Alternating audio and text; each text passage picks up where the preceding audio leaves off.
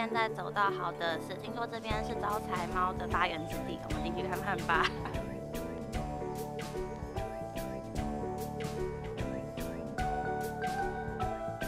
进到好的之后，往左手边走，会看到一大成群的招财猫在身后。感觉密集恐惧症的人可能会有点受不了，超多。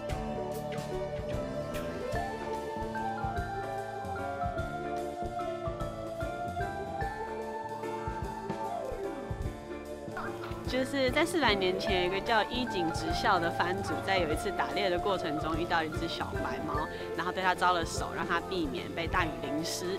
这就是为什么这里是招财猫的来源地的小故事哟。